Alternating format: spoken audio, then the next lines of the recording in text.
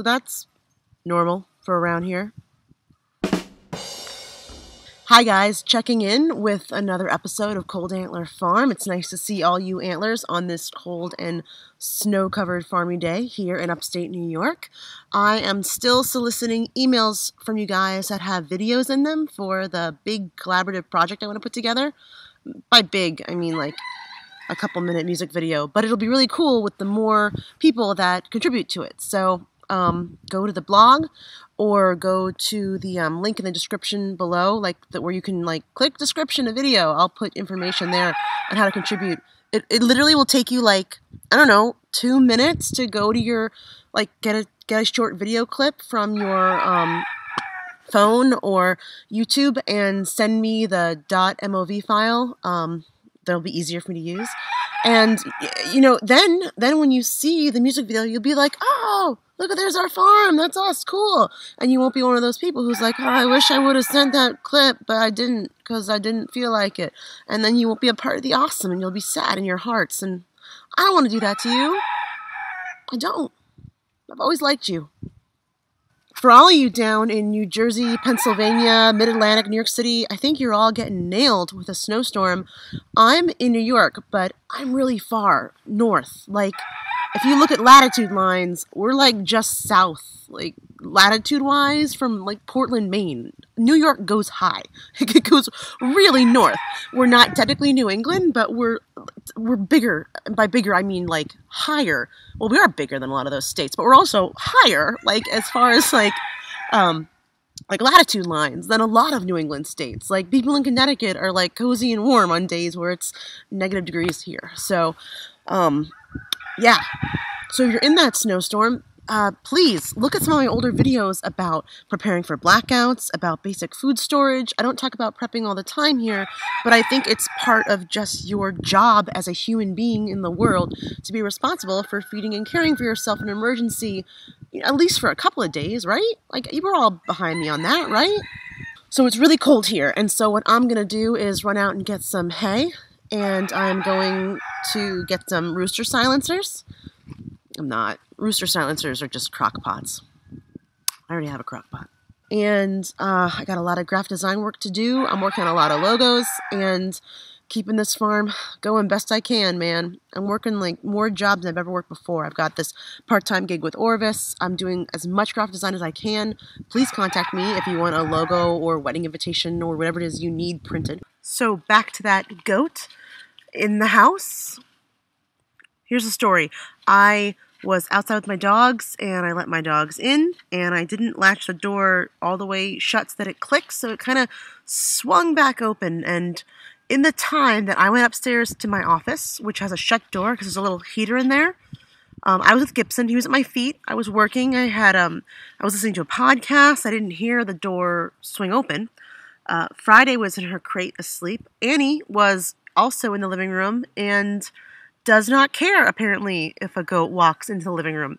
So I don't know how long he was in the house. There wasn't it could have been that long because I only came down like 20 minutes after I went upstairs and there was um I went down to get coffee and there in the living room was a goat. So I got some video and pictures cuz cuz my life is different than most people's. Just catch that dog cat chase. Friday, come here. Hey, you want to say hi to the internet? Oh my gosh, how are you so big? How's you are my girl? Mwah. Say hi, internet. They watched you grow up. They watched you grow up. Yeah, now you're just a big smelly opossum. Mwah. Well, someone's got to chase cats around here. I'm not doing it. So the only thing I really wanted to talk about today was uh, to share some advice um, based on an email I got, which was uh, a family who is very um, not supportive of a reader's dream to farm. And this is something I think a lot of us can relate to.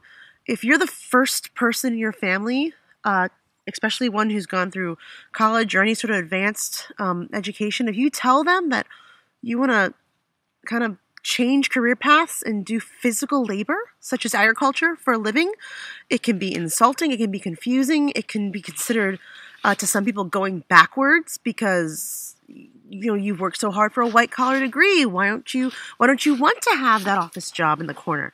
Um, I, I think arguing with those people or being defensive is just going to make things worse. Trust me, I know this from experience. But if what you want to do is kind of get them on your side, understand like coming out as a farmer is no different than coming out as any other subculture, especially if your family's not okay with it. So if you want to be happy and accepted as an alternative lifestyle, such as agriculture, in a world where we're told to um, consume as much as you can, be as materialistic as possible, own as many clothing and cars and vacations, and, and, and live a life of extravagance, if you volunteer to be simpler, it's going to be threatening and confusing and downright concerning to some people, especially people who grew up in the post war boom, because they went from a life of like their parents um, just getting women in the workforce to landing on the moon and getting microwaves. Like, if you're a baby boomer, you've seen the world change so fast, and seeing your kids decide to plant onions is crazy. It's crazy to them. Like, try to understand where they're coming from. So, how to deal with it? I guess it's none of their business if you want to start farming. Just start doing it. And when they see that you've added some rabbit hutches and raised beds to the backyard, don't even talk about your desire to quit your job and have a farm someday. Just make them a meal with that food.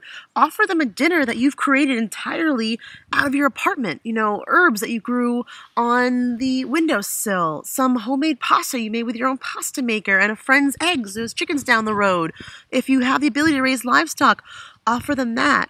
Um, learning to bake your own bread from locally bought wheat. These are things that people can taste and feel and smell and actually understand the value. And when it comes to agriculture, it's all about food. So don't worry about getting them to understand why you want to like get dairy goats in a polytunnel. Let them understand what that food tastes like. Show them the worth. Show them the value of having goat's milk and honey and fresh food and bread and a freezer full of food in a world dealing with blackouts and economic crises and um, people getting you know unemployed like any parent can understand the value of seeing a backyard full of food because the most basic maternal instinct of any or paternal instinct of any human being is to make sure that their offspring is fed, clothed, and sheltered. So show them the joy of clothing and sheltering and feeding yourself